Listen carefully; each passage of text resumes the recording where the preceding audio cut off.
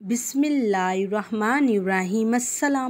दोस्तों, उम्मीद करती हूँ कि आप खैरियत से होंगे। Welcome back my YouTube channel amazing recipe, आलू के लच्छेदार परांठे बनाएँगे। एक नई टेक्निक के साथ बेहद क्रिस्पी बड़े बड़े से ये परांठे खाने में बड़े ही टेस्टी लगते हैं। तो रेसिपी को एंड तक देखिएगा। अच्छी लगे तो लाइक कर दे, चैनल को भी सब्सक्राइब कर ले, ताकि मेरी आने वाली हर नई वीडियो आप तक पहले पहुँच सके। तो चले रेसिपी जल्दी से स्टार्ट कर लेते हैं। बिस्मिल्लाह इब्राहिम तो आलू के ये शानदार से लच्छेदार पराठे बनाने के लिए सबसे पहले तो आधा किलो आलू को मैंने बॉईल किया। ठंडा करने के बाद छील लिया और मैंने इन्हें कद्दूकश कर लिया ताकि इनमें कोई भी बड़ी गुठली बाकी ना रहे। गरम गरम आलू को आप लोगों ने मैश नहीं करना। हमेशा आलू को ठंडा किया करें ताकि इसमें नमी ख़त्म हो जाए। अब इसमें हम डालेंगे एक मीडियम साइज़ की प्याज। चॉप करके डाल दें। दो टेबल स्पून के करीब हरी मिर्चें डालने लगी हूँ। ये रेड वाली है। आप हरी वाली भी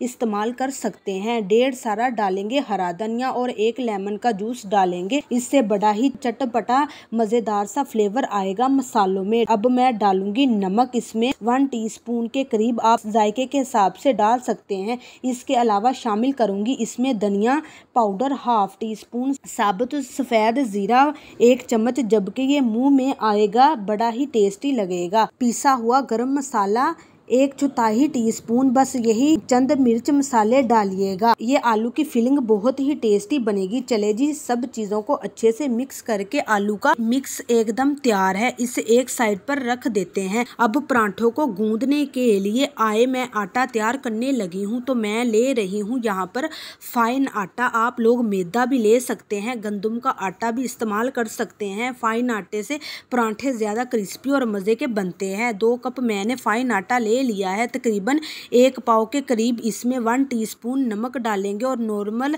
रोज़ाना जैसे आप लोग आटा गूंदते हैं ना, वैसा ही आटा गूंद कर तैयार कर लेना है। आटा इकट्ठा हो जाएगा तो इसमें डालिएगा वन टीस्पून के करीब कुकिंग ऑयल या घी भी डाल सकते हैं और हाथों की मदद से मुक्की लगाते हुए आटे को नीट कर लेंगे तीन से चार मिनट के लिए। चले जी, आटा नीट हो जाएगा, कवर लगाकर डांप कर इसे रख देंगे तकरीबन आधे घंटे के लिए ताकि अच्छे से सेट हो जाए तो आटे को रेस्ट पर रखे हुए तीस मिनट गुजर चुके हैं। अब ये पहले से ज़्यादा मुलायम हो चुका है। एक दफ़ा दोबारा से इसे गूंद ले और काउंटर पर ले आए। काउंटर पर डालेंगे आप हल्का सा मैदा या आटा और फिर आप लोगों ने आटे के पोर्शन को डिवाइड कर लेना है। इस तरीके से क्या होता है कि इक्वल साइज़ के पेड़े बनकर तैयार होते हैं। तो तकरीबन दो कप आटे से या एक पाव आटे से मैंने चार पेड़े निकाल रही हूँ। मीडियम साइज़ के चले जी पेड़े बना ले हैं। तो एक साइड पर रख लेते हैं। एक पेड़ा उठाएँ और इसे हाथों की मदद से चिपटा कर लें और रोलिंग बीन की मदद से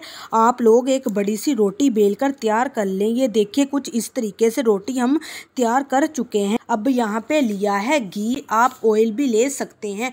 चम्मच की मदद से या ब्रश की मदद से पूरी रोटी पर ये घी फैला दूँगी। तकरीबन हाफ़ टेबल स्पून के करीब इस पर डालेंगे। खुश्क आटा वन टेबल स्पून के करीब और रोटी की फोल्डिंग करेंगे। एक साइड से हाफ़ तक इसको फोल्ड कर दे और दूसरी साइड वाला भी सिरा इसके ऊपर आप लोगों ने फ्लिप कर देना है। देखिए इस तरीके से अब यहाँ पर भी घी लगाएँगे। हल्का सा ही चम्मच से लगा ले ताकि पराठे हमारे बेहद लच्छेदार बने दोबारा से इस पर मैदा डस्ट करेंगे और इसको आप लोगों ने इस तरीके से फोल्ड कर लेना है। एक लंबी सी पट्टी आ गई है हमारे पास। इस पट्टी को इवन करने और हाथों की मदद से खींच कर थोड़ा सा लंबा कर लेंगे और एक साइड से आप इसे फोल्ड करना स्टार्ट कर दे, यानी कि पेड़ा बनाना शुरू कर दें। फोल्डिंग करते रहें, यहाँ तक कि आखिरी सिरा आ जाए। बस जी, एकदम लच्छे वाला परांठे का पेड़ा तैयार है। अब इस पेड़े के हमने दो हिस्से करने हैं, यानी कि दो रोटियाँ बेल कर तैयार करेंगे तो हमारा एक लच्छेदार परांठा तैयार हो। इनशाला माशाल्लाह से आप इसकी लेयर चेक करें, कितनी लेयर्स हैं, कितना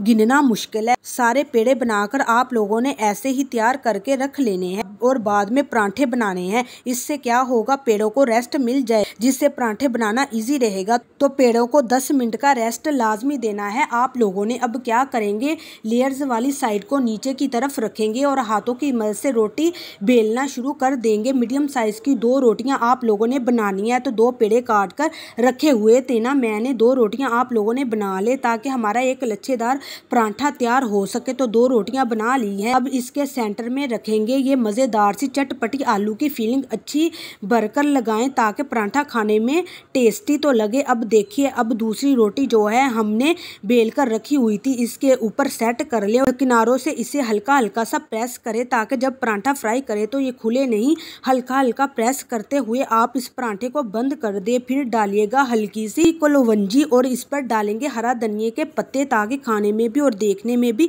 ये परांठा बड़ा ही ज़बरदस्त लगे। तवे को पहले गर्म करने के लिए रखा था मीडियम टू लो फ्लेम। अब ये परांठा फ्राई करेंगे। एक साइड से परांठा कच्चा पका हो जाए तो साइड को चेंज करके दूसरी साइड पे भी इसको पका ले। जैसे गोल्डन मिक्स नज़र आने लगे तो आप इस पर लगाएँ घी या बैटर कुछ भी लगा सकते हैं। इस तरीके से चम्मच की मदद से या ब्रश की मदद से लगा लें, ज़्यादा घी नहीं लगेगा। अब ये परांठे को फ्राई करते हैं। अच्छा सा गोल्डन कलर आने तक जितना मीडियम टू लो फ्लेम पे पकाएँगे, परांठा उतना ही शानदार बनेगा। देखिए कितना ज़बरदस्त सा लच्छेदार परांठा तैयार हो गया है और इसके एक नहीं, कई लच्छे बनेंगे। इंशाल्लाह सारे परांठे तैयार करके रख लिए हैं। अब इसे सलफ करें। धनिया पुदीने की चटनी के साथ साथ आम का अचार रख ले तो मज़ा दुबाला हो जाएगा। ये रेसिपी आप लोग ट्राई करिएगा। इंशाल्लाह आपको बड़ी ही पसंद आएगी तो उम्मीद करती हूँ कि आपको मेरी ये रेसिपी बहुत पसंद आई होगी। अगर पसंद आई है तो लाइक कीजिए शेयर कीजिए चैनल को सब्सक्राइब करना मत भूलिए, दीजिए इजाज़त अगली वीडियो तक के लिए। अल्लाह हाफिज़।